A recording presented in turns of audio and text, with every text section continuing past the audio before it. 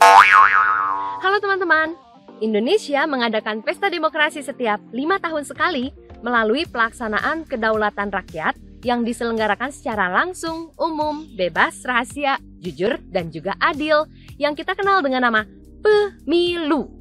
Pemilu adalah sarana bagi rakyat untuk memilih, menyatakan pendapat melalui suara, berpartisipasi sebagai bagian penting dari negara sehingga turut serta dalam menentukan haluan negara.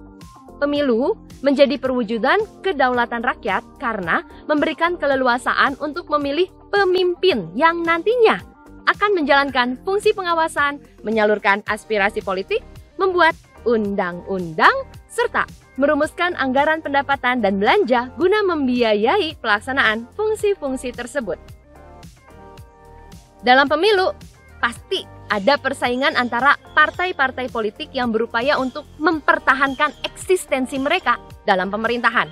Ketika partai-partai politik ini bersaing, maka mereka menggunakan segala cara untuk memperoleh dukungan dari masyarakat dan mulailah kita mengenal yang namanya black campaign atau kampanye hitam. Black campaign merupakan taktik politik yang digunakan oleh pesaing atau kelompok tertentu untuk mencemarkan citra dan reputasi lawan politik mereka. Tujuannya adalah untuk menjelek-jelekan calon atau partai politik lawan dengan menyebarkan informasi palsu, fitnah, ataupun mengambil tindakan manipulatif lainnya guna merusak keyakinan publik terhadap lawan politik.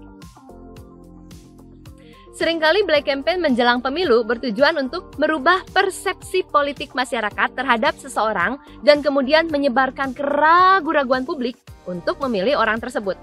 Black Campaign merupakan tindakan fitnah terhadap lawan politik demi menguntungkan pelaku.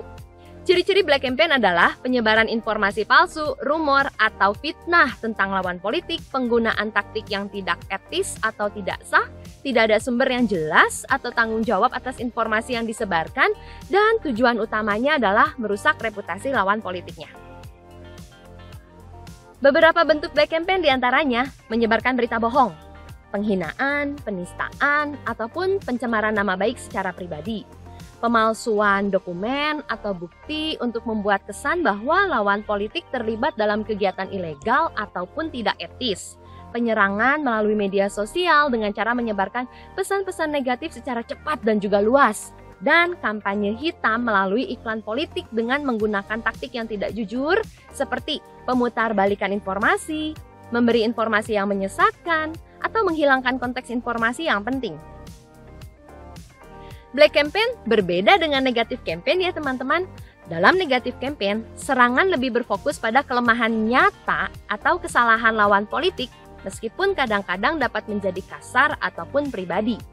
Di sisi lain, black campaign melibatkan penyebaran informasi palsu atau tidak akurat yang dapat merusak reputasi pihak lain tanpa memperhatikan kebenaran ataupun etika. Teman-teman semua, pemilu yang diadakan di Indonesia saat ini pastinya sangat dipengaruhi dengan perkembangan iptek dan juga globalisasi. Di tengah dunia yang modern, pastinya baik black campaign ataupun negatif campaign sangat mudah untuk bermunculan teman-teman. Untuk itu, yuk kita berhati-hati dalam memilih para pemimpin negara kita.